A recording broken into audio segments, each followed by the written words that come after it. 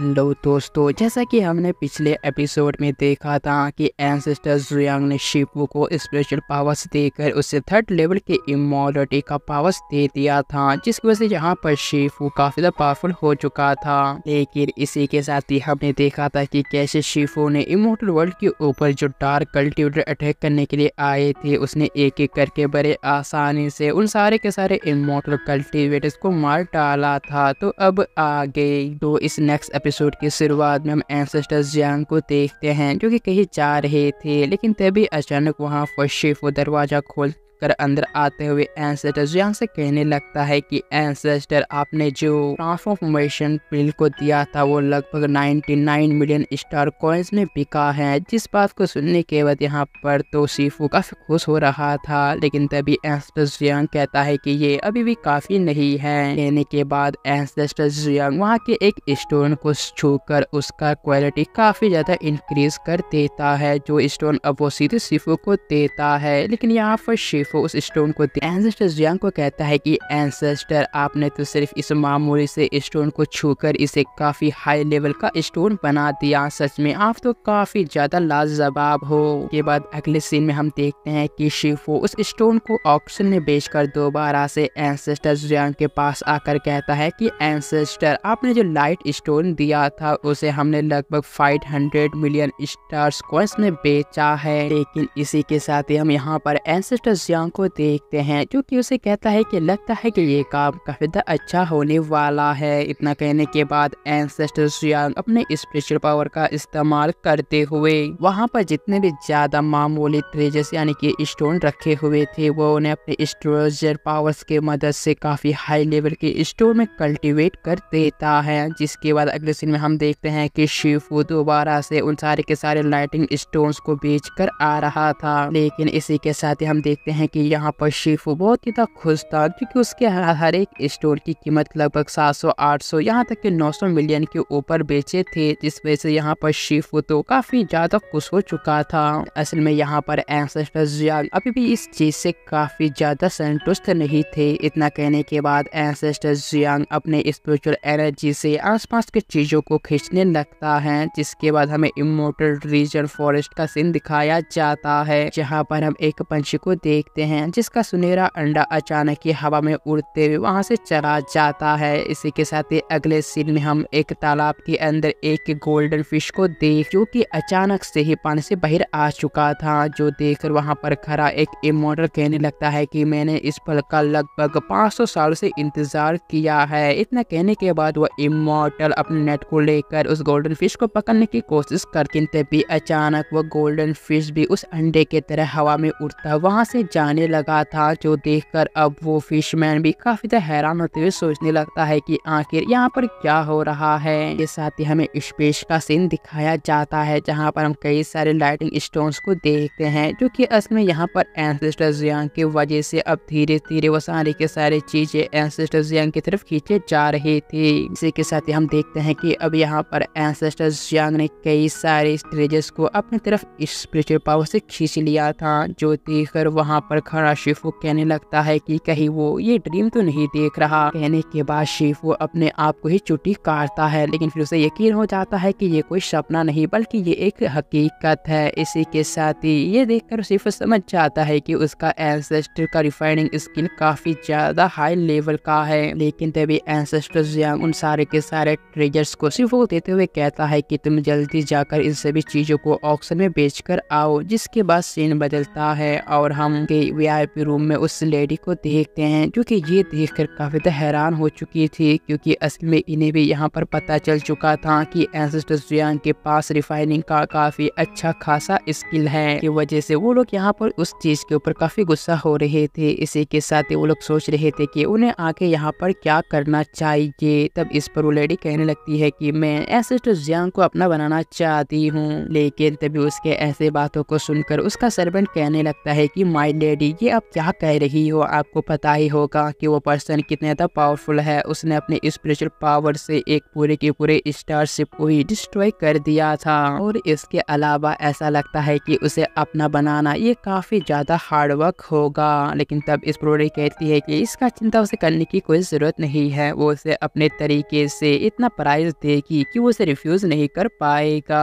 अगले सीन में हमें लोग ऑक्शन लोकेशन दिखाया जाता है, जहाँ पर हम उस लड़की को देखते जिसने कि कई सारे ट्रेजेस को सेल करके काफ़ी सारे पैसे इकट्ठा कर लिए थे। इसी के साथ या वो जल्द से जल्द उन सारे के सारे पैसों को एंसेस्टर्स को देने के बारे में सोच रही लेकिन तभी अचानक उस लड़की को एहसास होता है कि वहाँ पर तो कोई और भी है। फिर हमें पता चलता है कि ये तो असल में वही लड़की और वही लड़का है, जिसे देखकर लड़की कहने लगती है कि, क्या तुम इसे चुराने के लिए आए हो? लेकिन तुम ऐसा सोचना भी मत, जब तक मैं ज़िंदा हूँ, तुम्हें एक कॉइन भी ले जाने नहीं दूँगी। तब उसके ऐसे बातों को सुनकर वो लड़की कहती है कि तुम चिंता मत करो, मैं यहाँ इन पैसों के लिए नहीं, बल्कि मैं तो उसके लिए आई हूँ। फिर हमें पता चलता है कि यहाँ पर एंसेस्टर्स जंग भी आ चुकी थी और असल में वहाँ लड़की एंसेस्टर्स जंग के बारे में बात कर रही थी। के साथ ही वो लड़की अब यहाँ पर एंसेस्टर्स जंग को देखकर कहने लगती है कि मैंने सुना है कि तुम्हारा रिफाइनिंग स्किल काफ़ी ज़्यादा अच्छा है, इसलिए वो चाहती है कि अब तुम उसके लिए काम करो और वो उसके हिस्से का सिर्फ़ थर्टी सेवन परसेंट उसे देगी। तब इस बात को सुनकर उसका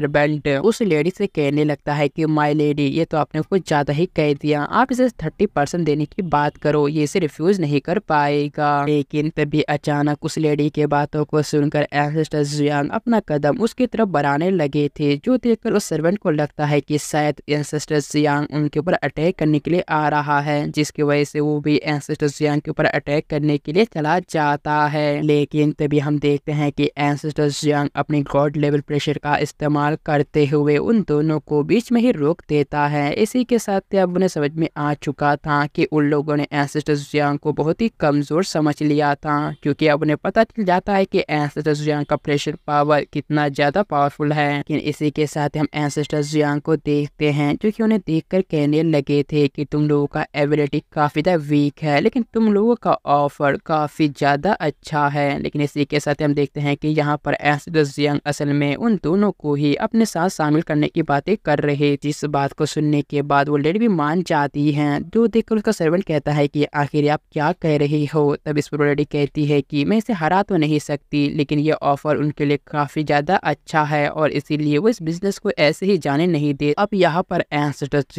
और वो लेडी आपस में बात कर ही रहे थे कि तभी अचानक उस लेडी के सर्वेंट को एक मैसेज मिलता है, जिसे वो लेडी सुनती है, जहाँ पर उसे पता चलता है कि डार्क फेरीलैंड ने उनके इमोटल रियम के ऊपर अटैक कर दिया है। ये बात सीन बदलता है और हमें डार्क फेरीलैंड का सीन दिखाया जाता है, जहाँ पर हम उसे इमोटल पर्सन को देखते हैं, जो कि अपने एंसेस्टर के पास आया था। इसी के साथ ही उन मूर्तियों में से एक आवाज़ कहता है कि, आखिर तुम यहाँ पर अकेले क्यों आए हो? बाकी सब कहाँ पर है? लेकिन तब इस बात को सुनने के बाद वो बंदा कहने लगता है कि, हम लोगों के सारे के सारे दोस्तों को एक पावरफुल कल्टीवेटर ने पहले ही मार डाला और मैं ही सिर्फ़ अकेले बचकर यहाँ पर बाहर आ पाया हूँ। तब उसके ऐसे बातों को सुनकर उन मूर्तियों के अंदर से थ्री पावरफुल कल्टीवेटर्स बाहर आते हैं। यहाँ पर बदला लेने के लिए उस डार्क फेरीलैंड से बाहर निकलने की कोशिश कर रहे थे, लेकिन तभी अचानक उन्हें एक फॉर्मेशन महसूस होता है, जिसकी वजह से अब वो यहाँ से आगे निकल नहीं पा रहे थे। हालाँकि वो लोग यहाँ से निकलने की काफ़ी कोशिश कर रहे थे, लेकिन यहाँ पर उन्हें पता चल जाता है कि यहाँ पर कोई पावरफुल कल्टिवेटर आ चुका है। इसीलिए उनमें से एक ओल्ड मैन कहता है कि सीनियर क्या हम जान सकते हैं कि आप हमें यहाँ से जाने से क्यों रोक रहे हो? आप चाहे तो अपने आप को यहाँ पर सामने ला सके। तभी अचानक उन तीनों मास्टर्स को पता चलता है कि उनका बंदा वहाँ पर मारा जा चुका है। फिर हमें पता चलता है कि यहाँ पर एक लेडी आ जाती है, जिसका नाम चाओ फैंक होता है। वो उन्हें कहती है कि मेरे मास्टर ने कहा है कि मैं तुम्हें से यहाँ पर किसी को भी बाइट ना जाने दूँ। लेकिन अब इस बात को सुनकर उन तीनों पावरफुल कल्टीवेटर्स को बहुत ही गुस्सा आ जाता है और कहने लगते हैं कि इसका मतलब आज तुम हमें यहाँ से जाने देने वाले बिल्कुल भी नहीं हो, जिस बात को सुनकर एक ओल्ड लेडी कहने लगती है कि तो फिर ठीक है, हमने जो दस हज़ार तक डार्क सोल वाला कल्टीवेशन किया है, आज हम उसका इस्तेमाल करने वाले कहने के बाद वो तीनों अपने डार्क पावर का इस्तेमाल करते हुए बहुत ही अजीब तरह के तीन क्रिएचर्स को समन करते हैं और इसी के साथ ही वो उनके ऊपर अटैक भी कर दिया था। लेकिन तभी अचानक यहाँ पर वो लेडी अपने थंडर पावर का इस्तेमाल करते हुए उन क्रिएचर्स को तो एक ही झटके में वहीं पर डिस्ट्रॉय कर देती है और हमें पता चलता है कि असल में यहाँ लेडी भी कुछ कम नहीं थी। ये भी एक पावरफुल इमोटल कल्टिवेटर के बाद सीन बदलता है और हम एंसेस्टर जुयांग और उस रेड लेडी को देखते हैं जो कि असल में डार्क फेरीलैंड के नज़दीक आ चुके थे। लेकिन यहाँ पर उन्हें पता चलता है कि डार्क फेरीलैंड को तो पहले ही किसी ने डिस्ट्रॉय कर दिया है और ये बात वो लेडी भी एंसेस्टर जुयांग को बताते हुए कहती है कि इस डार्क फेरीलैंड को दो घंटे पहले ही किसने लेकिन इसी के साथ ही वो लेडी वहाँ के ठंडर और बहुत ही अजीब तरह के पावर्स को देखकर काफ़ी डर रही थी। वो कहने लगती है कि लगता है कि किसी पावरफुल इमोटल कल्टिवेटर ने इस डार्क फेरीलैंड को डिस्ट्रॉय कर